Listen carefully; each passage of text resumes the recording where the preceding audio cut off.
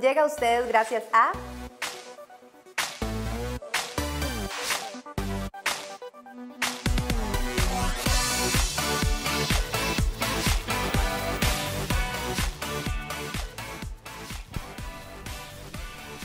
Hola, bienvenidos a un nuevo programa de Infame. Hoy estoy con Adri. Hola, André. Y como todos los jueves tenemos un programa cargado de información muy útil para todos ustedes. Hoy en mi sección favorita, la de cocina, tenemos una receta de brusquetas de berenjena. Y en nuestra sección de emprendimiento vamos a conocer qué es Destinos Viajeros. Además, en nuestra sección de salud tenemos a la doctora Sheila Thomas, pero esta vez viene acompañada porque nos va a hablar de los lentes de contacto multifocales. Y al final, para cerrar el programa, vamos a conversar acerca de una iniciativa llamada Curvas con propósito. Adelante. We'll be right back.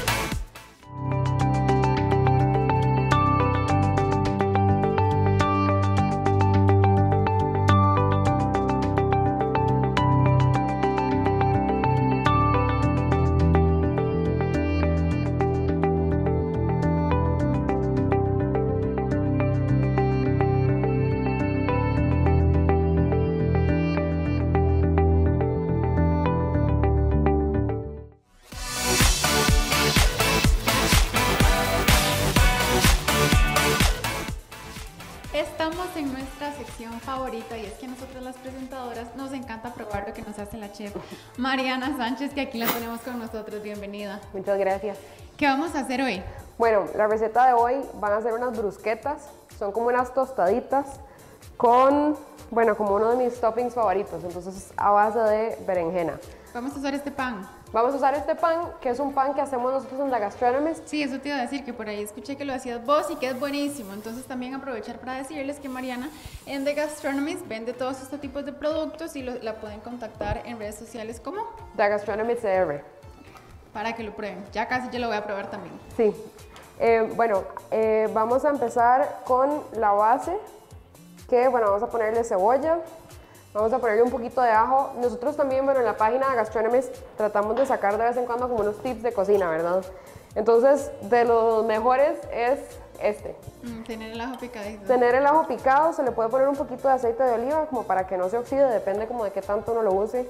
Se mantiene en la refri súper bien y, ya lo tenés listo. No hay que ensuciarse las manos como de ajo cada vez que uno cocina y demás. Entonces, no, y el ajo es como un ingrediente estrella, en todo, en todo cae bien. Exacto, en todo queda súper rico. Entonces, eh, agregamos un poquito de ajo, la cebolla y ahí se va cocinando un poquito. La dejamos freír un ratito. La dejamos freír un ratito. Se le puede agregar de una vez lo que vamos a poner es berenjena y tomate. A mí no me gusta poner la berenjena de una vez porque como está partida tan chiquita, se va a cocinar demasiado y se va a hacer como... Aguada aguada, como más masosa y la berenjena tiene una textura súper rica. Entonces la idea es como que la dejemos un poquito. Que, quede más al dente. Aquí ya pusimos, bueno, ya tenemos el sartén caliente, ya pusimos un poquito de aceite de oliva en spray y vamos a tostar un poquito el pan como para que tampoco absorba tanto, sino como que tenga una, una, capita, exacto. Bueno, las brusquetas normalmente son tostaditas. Este pan nuestro es bastante suavecito, que en realidad a mí me encanta porque honestamente yo, tengo la ganas de probar un pedacito de pan así crudo porque me dijeron que era delicioso. Pero no, no, no, el culito no, otro, otro pedacito. muchas gracias. A mí honestamente no me gusta para nada cuando te dan como tostadas y te rompe el cielo de la boca. Qué bueno. Entonces este pan tiene como esa característica, como que es súper suavecito, entonces es súper rico. Entonces bueno, lo vamos a poner a tostarlo a penitas nada más, como para darle textura. Y bueno, le podemos poner un poquito de aceite de oliva en spray arriba también. Ahí tenemos el fuego encendido. Y bueno, la cebolla ya está un poquito más cocinada. De nuevo, la idea es que tenga textura, o sea, que no sea demasiado cocinado, que no sea como súper suave. Y le podemos ir agregando la berenjena. A mí me gusta partirla como en cuadritos chiquitos, como para que no sean como como esos pedazotes de berenjena que o te sale solo berenjena o te sale solo cebolla, sino como que te puedas comer un poquito de cada cosa. Sí, que cuando uno se en cada bocado. En la, en, la, boca tenga un poquito de todo. Exacto. Entonces la partimos súper chiquitita, como en cuadritos pequeños. Qué interesante, ¿verdad? La gente que no, no suele cocinar no piensa en ese tipo de cosas, en qué tamaño tengo que cortar la verdura para que haya como un, un- un poquito de todo en la cucharada. Ujú. Y pues obviamente es un asunto como visual, como de cómo se ve, porque obviamente sí, se ve mucho más lindo, pero también es eso, como que puedas Claro. disfrutar el plato completo. Ok, y después de eso sigue el tomate. Después de eso, si vamos con el tomate, Ok, y bueno, ahí hay que aguantar a que se cocine un poquito.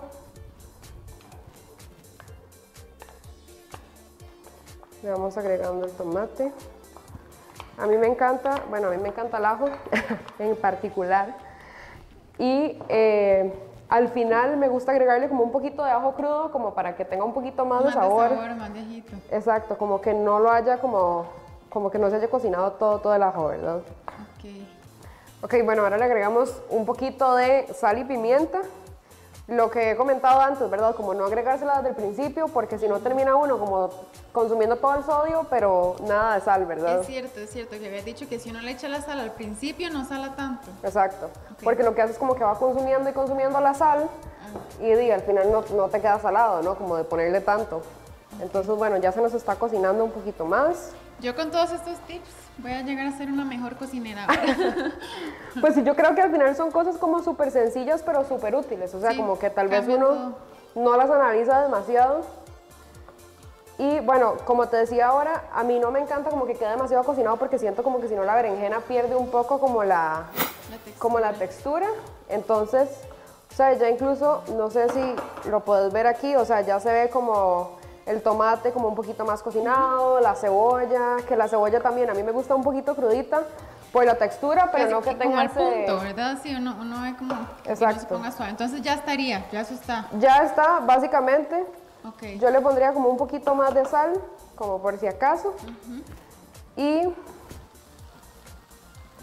vamos a revolverlo un poquito más. Súper rápido y súper fácil también. Si uno tiene que llevar una boquita a algún lado, está diferente y muy rápido. Y saludable también. Exacto. Y en realidad esta como base de berenjena, a mí me parece que es una opción súper versátil. Además, de, también es vegetariana, entonces todo el mundo puede mundo comer. puede. A mí me encanta incluso hacerla como con pasta. Entonces hacer esa misma base, Mm, bueno. cocinar como el tipo de pasta de preferencia y, y mezclarla. Se puede usar como en un montón de cosas diferentes. Y de hecho, por la receta de la otra semana vamos a hacer como otra opción con un misma- relleno similar, Ok, exacto. ok. Entonces, Ok, bueno, ahora la idea es entonces eh, poner este relleno, bueno, este, esta, esta mezcla sobre las... sobre las tostaditas. Que bueno, igual aquí ves que no las tostamos demasiado, o sea, nada más como para que tengan como una textura diferente.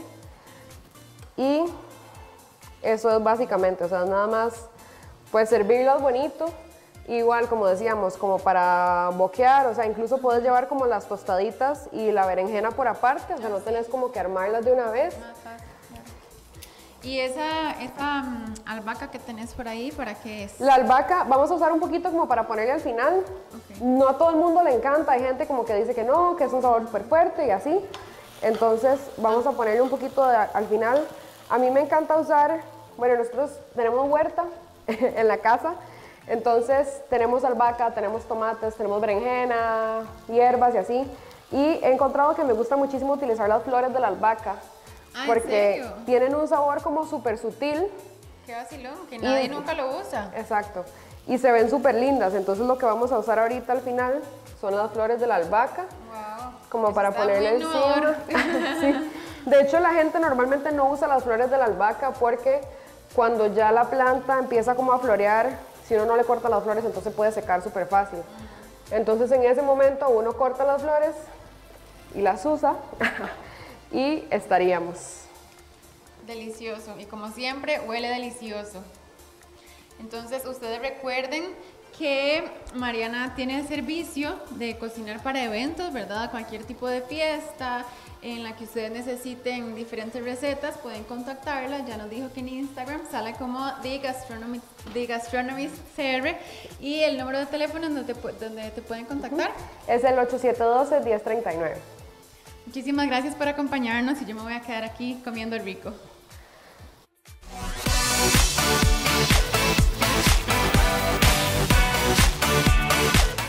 Con más de 20 años en el mercado, trabajamos brindando la mejor solución al alcance de su bolsillo. Realizamos en cada uno de nuestros 38 centros de servicio el diagnóstico preciso, valorando cada área de manera personalizada.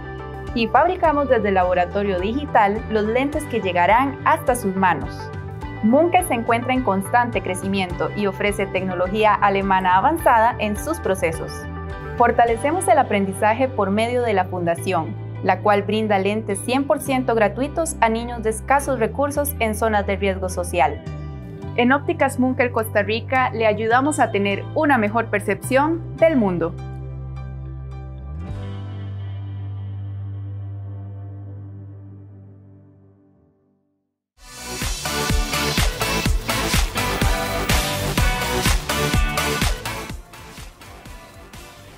En nuestra sección de salud tenemos no a una, sino a dos optometristas que nos van a hablar sobre el tema de lentes de contacto multifocales. Ustedes ya conocen a la doctora Sheila Thomas, así que le doy la bienvenida de nuevo. Y a la doctora, a la doctora Natalia Durán, que está por primera vez con nosotros, así que muchísimas gracias por venir. Eh, vamos a aprender un poco de este tema, que son los lentes de contacto multifocales. Bueno, los lentes de contacto multifocales son lentes que nos van a ayudar a generar una corrección para los pacientes que padecen de presbicia. Generalmente creo que ya han tocado el tema del hecho de que el paciente después de los 40 años comienza a padecer de presbicia y necesita una corrección diferencial a la que viene utilizando.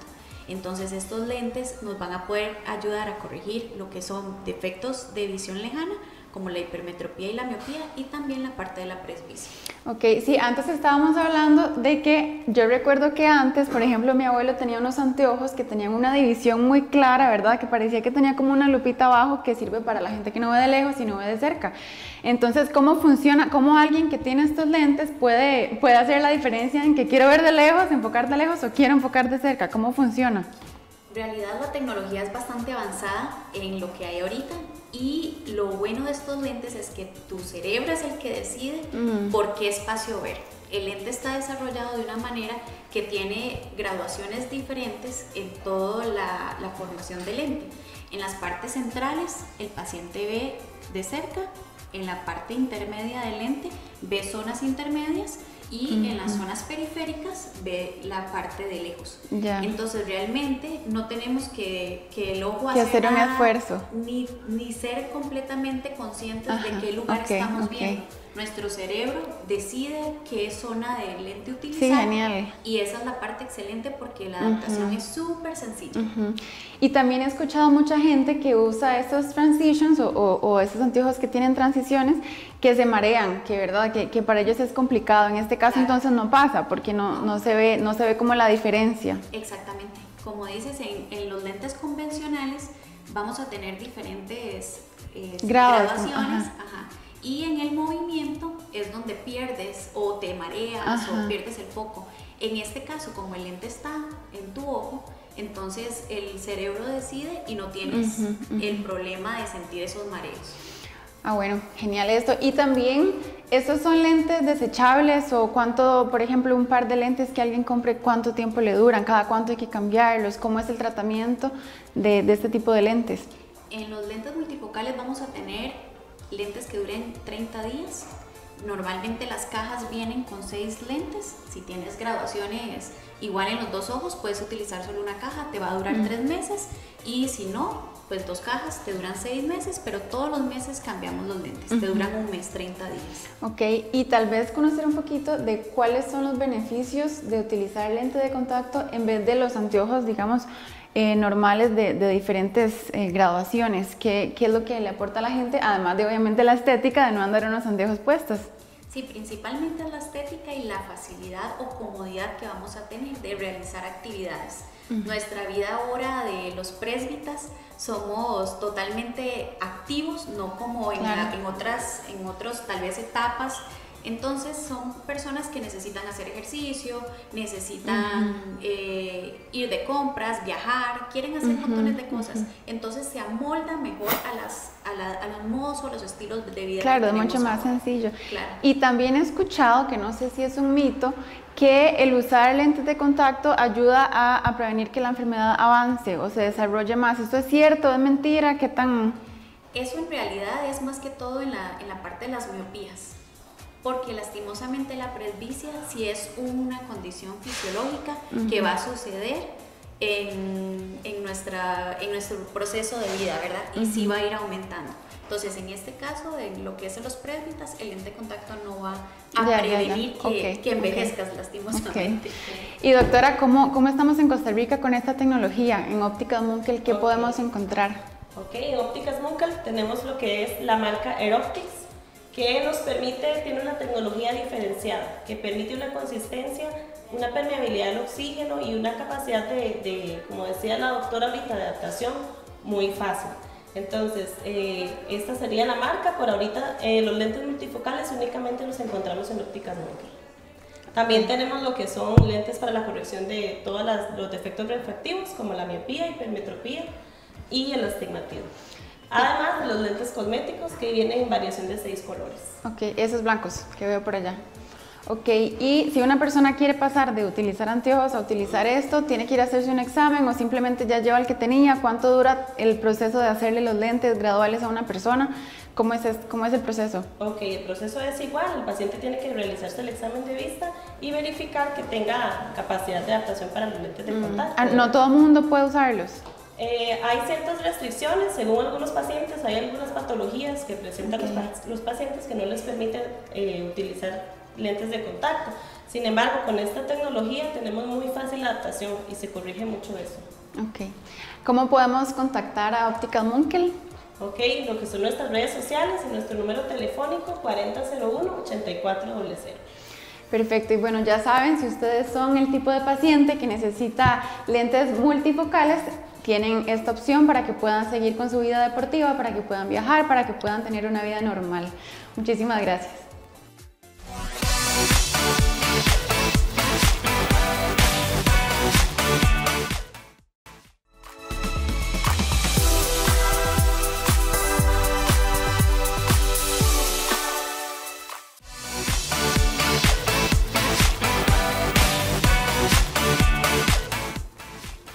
Bienvenidos de vuelta. Hoy tenemos a Loana Montero, quien es la fundadora de Hope. Primero que todo, darte la bienvenida y agradecerte por estar aquí con nosotros. Muchísimas gracias, Adriana, por el espacio y muy contenta de poder compartir este proyecto con ustedes. Nosotras también estamos muy contentas y bueno, en lo personal Hope es una fundación que eh, tuve la oportunidad de trabajar con, hacer unos videitos Así que realmente sí me toca mucho el corazón porque ya conozco un poco Hope, pero creo que queremos saber de qué se trata este proyecto. Se está llegando el momento, gracias a Dios, de poder presentar Hope. Bueno, inicialmente decirles, las siglas de Hope eh, significan Hunger Organization for People Everywhere. Es una organización sin fines de lucro que viene a luchar contra el hambre en Costa Rica. Eh, la situación de la pandemia eh, han endurecido tremendamente la situación del hambre en Costa Rica, el desempleo. Eh, somos 5.163.000 costarricenses, de los cuales hay un 26.2% de costarricenses que están en pobreza y un 7% que se encuentra en pobreza extrema. Tal vez ni siquiera sabemos qué es estar en pobreza o en pobreza extrema. Estar en pobreza extrema significa que el ingreso per cápita de un costarricense es de 52 mil colones. 50, 52 mil colones. Imagínense lo que es vivir con 50 mil colones. Y cuando uno es el jefe de familia y el jefe de familia ingresa 50 mil colones, es una situación difícil. Vivir en pobreza significa que recibís 105 mil colones. Entonces, la situación de la pandemia nos ha hecho replantear el trabajo que originalmente se venía haciendo en NUGWA, que es la organización sin fines de lucro que originalmente alberga nuestro proyecto.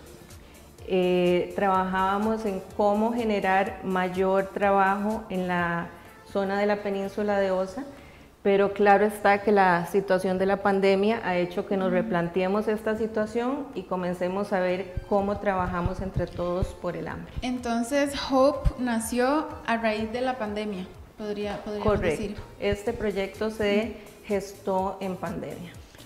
Contámonos un poco, porque sí me da mucha curiosidad, eh, nos hablaste de que están trabajando ahorita en la península de Osa, pero no sé si también tienen algunos otros sectores en la población en donde estén trabajando también con ellos.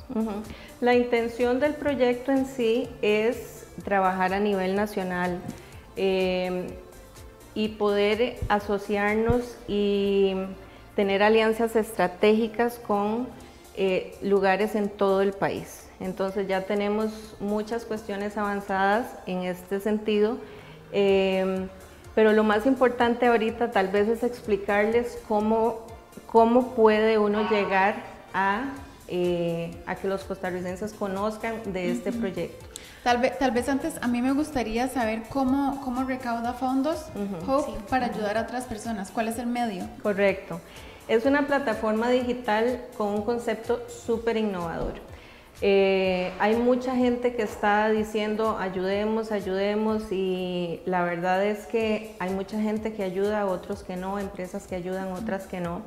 Eh, nosotros tenemos este concepto innovador donde vamos a manejar lo que nosotros podemos denominar como donando y ganando. Internamente le decimos donando y ganando. Eh, ¿Por qué ganando? Porque por cada donación que una persona o empresa haga, va a recibir tiquetes que le van a permitir participar por los sorteos de diferentes artículos, pero artículos fantásticos. Vamos a Que hablar realmente uno quiere ganarse. que realmente uno quiere ganarse. Eh, ¿Qué queremos tener todos? ¿Qué quieres tener vos, eh, Adriana o Andrea? ¿Qué te gustaría tener? Hay tantas cosas. Exacto, decime una, bien grande. Eh, Adrián, ayúdame aquí. ¿Un carro? Puede ser un carro, sí. Correcto. ¿Una casa? Una casa. Wow. Exacto, un televisor más Yo grande. estaba pensando, no sé, en una plancha o algo así. Pero no, pero no. ¡Wow! Es donando y ganando, y ganando en serio. Realmente eh, las enlaces que, que tenemos con empresas súper importantes y súper colaboradoras y solidarias con esta causa nos van a permitir ofrecer ese tipo de oportunidad. ¿Quién no quiere tener una casa? Y qué bueno que hayan empresarios o, o en, en general otras organizaciones que se apunten a donar este tipo de cosas para ayudar, en este caso, a personas con, con hambre. Sí, Adri, y te dije lo de una plancha porque, wow, qué bueno que empresas tan grandes y, Sí. bueno, estén aportando, ¿verdad? Porque sí es cierto, la pandemia vino a, a cambiarlo todo y me siento muy contenta de estarte entrevistando porque sí siento que es muy importante esto de, de la ayuda social. Y algo que te quería preguntar, que creo que es muy importante, es cuándo podemos empezar a donar, cómo, cómo va el proceso de Hope como tal, como plataforma. Ya casi, la plataforma está completamente lista, estamos en algunos detalles de la pasarela de pago, porque hoy en día absolutamente todo es electrónico, todo tiene que ser fácil y fluido, y la pasarela de pagos nos va a permitir eh, el poder generar esa facilidad para los usuarios que por medio de su tarjeta de crédito, débito o un depósito simple, que es lo que está más de moda, Sí. se puedan hacer las De donaciones. hecho, siempre es una maravilla. Es una maravilla. Entonces van a poder hacer sus donaciones, electrónicamente reciben sus tiquetes y participan por el artículo que quieren participar. Como les decía, pueden ser casos, casas, carros, electrodomésticos, obras de arte, experiencias. También vamos a tener experiencias sobre las que se quieran eh, hacer donaciones. Entonces, eh, eso es más o menos en qué consiste el proyecto. Hay un detallito más que quería compartirles y es la importancia de que también quienes reciben eh, los beneficios, las personas beneficiadas van a poder también ofrecer servicios. Porque si alguna de estas personas que está desempleada es un carpintero, él también va a poder eh, generar en la página un espacio donde ofrezca sus servicios Donde pueda exponenciar. donde pueda exponer y de- devolver, si se quiere de alguna manera, el beneficio que se le está dando. Entonces, eh, por todos lados es una, Es, Es una un ganar-ganar. Es un ganar-ganar para las personas que dan, para las que reciben y obviamente para nosotros como personas que hagamos algo que signifique un poquito más. Sé que nos, sé que nos ocurre que muchas veces no nos damos cuenta de que nuestro vecino tiene una situación difícil, porque mis amigos, mi familia tienen cierto estatus, cierto nivel y todo el mundo está bien trabajando desde la casa, a lo mejor le han modificado un poquitito el salario, pero están bien. Sí. Pero la realidad es que tenemos industrias completas, restaurantes, turismo, que han sufrido muchísimo y que tardarán años en volver a estar como, como estaban. Sí, sí, muchas, muchas veces nosotros no nos ponemos en el lugar de otras personas, pero realmente no sabemos cuándo vamos a ser nosotros los que vamos a necesitar ayuda. Y realmente no hay que ayudar porque en algún momento voy a necesitar, sino porque es, es- yo siento que es parte de, de ser ser humano, ¿verdad? Sí, El claro. dar y el, y el compartir. Entonces, a mí, a mí realmente me encanta este proyecto y tal vez si nos contás si tienen redes sociales, cómo puede la gente encontrarlos. Correcto, en redes sociales estamos en Instagram como Hope-bajo, Hunger Organization y en eh, Facebook estamos como Hunger Organization for People Everywhere. Es importante que las, el significado del nombre está en inglés porque queremos que eventualmente esto se vuelva internacional. Entonces no podemos limitarlo a solo nuestro territorio. Y entonces esa es la razón también de, de tener el nombre en inglés. Algo que me pareció muy interesante y muy rescatable es que son una plataforma eh, muy integral. Y esta parte en donde ofrecen los servicios de las personas que tal vez están obteniendo un beneficio a través de la plataforma me parece eh, muy importante porque el darle esa herramienta para que las personas también puedan generar ingresos eh, es, es realmente muy necesario. Correcto. Sí, conseguir trabajo. Hay, hay un concepto muy importante de la pobreza y es que la pobreza hace muchísimos años dejó de ser un concepto de soy pobre porque no tengo un ingreso. Hoy en día hablamos de un concepto de pobreza multidimensional donde se contemplan conceptos como la, como la falta no solo de un ingreso, sino del tipo de empleo que tengo, De capacidad, de conocimiento, inclusive. de salud, Hasta de las oportunidades. de salud, de las oportunidades a las que tengo acceso, incluso a nivel cultural de lo que yo conozco y dejo de desconocer porque en un entorno muy limitado al único al que tengo acceso. Entonces son un montón de cosas que me que contemplan realmente lo que es la pobreza y eso que decís es un punto muy importante porque hay una dignificación importante a la persona que se está ayudando. Porque no se trata de dar para que las personas coman únicamente, sino eh, el generar también la posibilidad de que retomen un rol eh, productivo. Bueno, todo de verdad que muy inspirador y muy interesante. Muchísimas gracias por venir a compartirlo y ustedes ya saben que pronto van a poder donar en la plataforma oficial de Hope, así que estén atentos. Muchísimas gracias.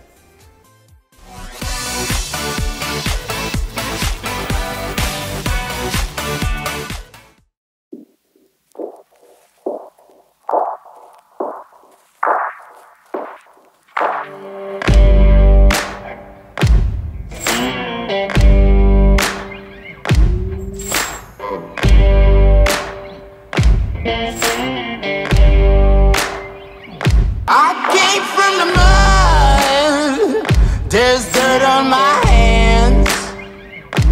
Strong like a tree. There's roots where I stand. Oh, I've been running from the law.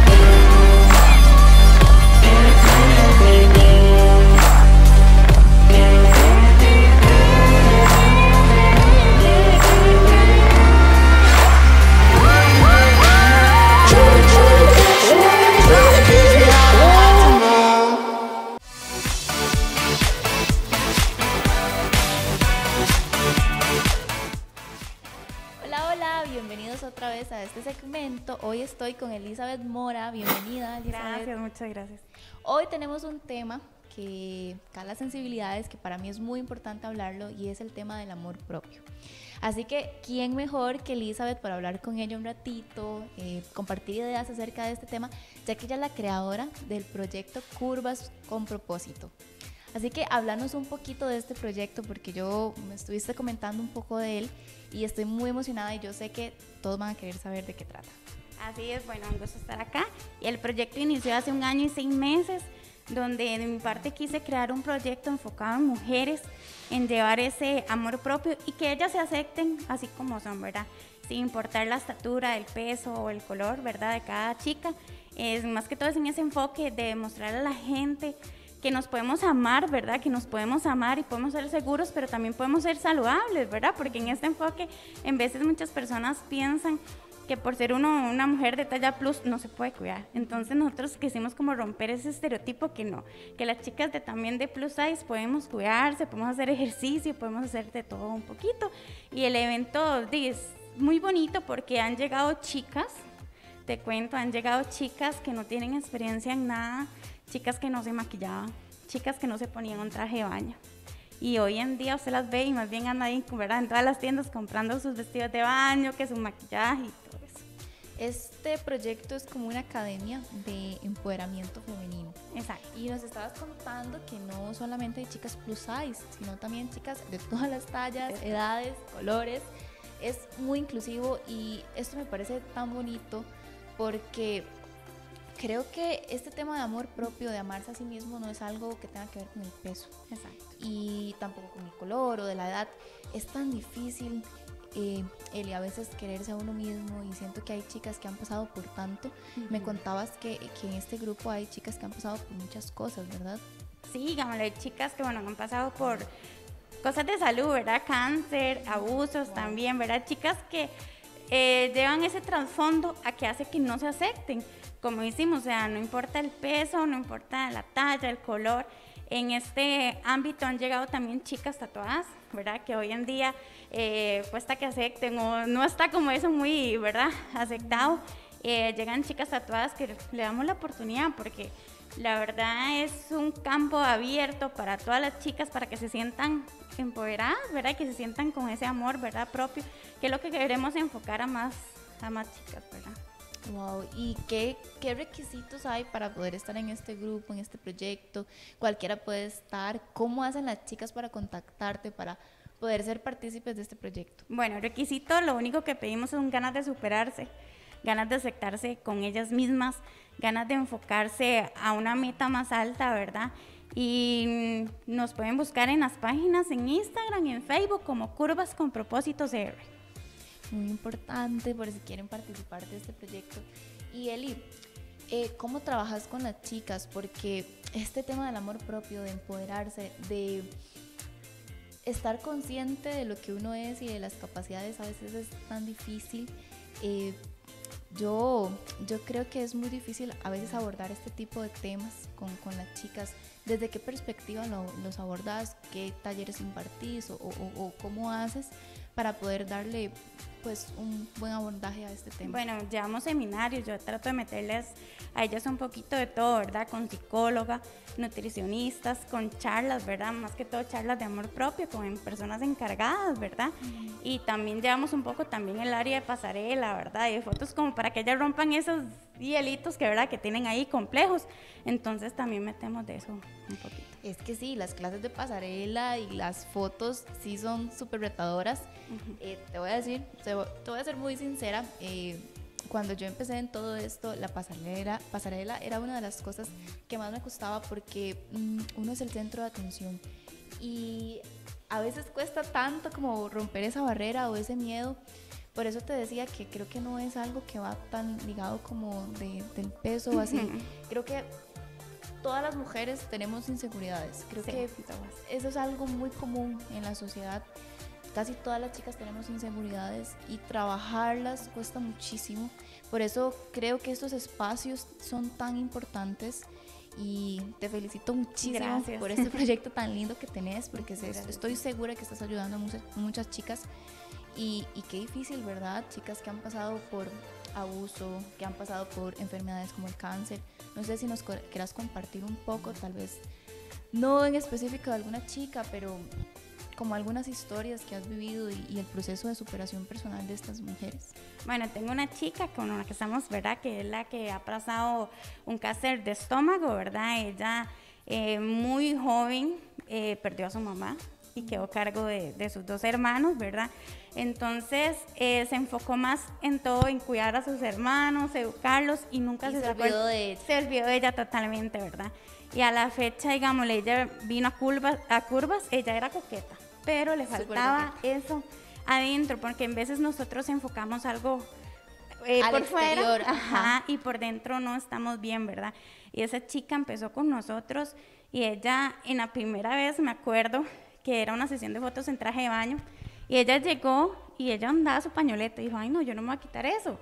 Yo voy a andar ahí con... con... Y cuando vi a las demás chicas así súper empoderadas, con ese amor propio, y llegó y se lo quitó. Y dijo, bueno, aquí empezó un cambio para mí. Y ella ha sido una metamorfosis, o sea, totalmente. Ella ha cambiado, ahora ella...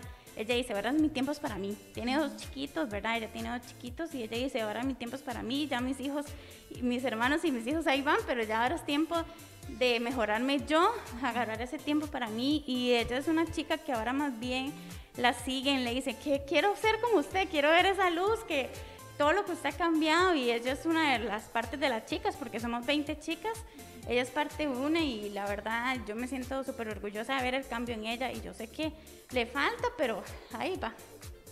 Qué importante, ¿verdad? Porque a veces cuando esta chica que tuvo que cuidar a sus hermanos, eh, que también es madre, a veces a las mujeres se les olvida como esa parte, ¿verdad?, de ser mujer, de ellas, y están tan enfocados tal vez como en su trabajo, en su carrera, y se, se les olvida trabajar en sí mismas. Y no solo a las chicas, a los chicos también les pasa esto, ¿verdad? Sí. Y, y qué difícil. Pero estoy tan feliz de que existan este tipo de plataformas porque como te dije este tipo de temas a veces son difíciles de abordar abordar no sé si nos quieras compartir algo más bueno, no, y que nos estén pendientes a las redes, porque ahorita vemos como un seminario que se llama Realizando tu Belleza, donde escogimos a cinco chicas, que la idea de nosotros es hacerles un rato alegre, cambiarlas un poquito, que ellas eh, entren en este proceso de metamorfosis. Entonces, invitarlos a que nos sigan en las redes, ¿verdad? Para que vean todo ese proceso. Bueno, muchísimas gracias, gracias En serio, un placer tenerte aquí conmigo hoy. Y bueno, muchas gracias por acompañarnos en el programa del día de hoy. Nos los esperamos la otra semana.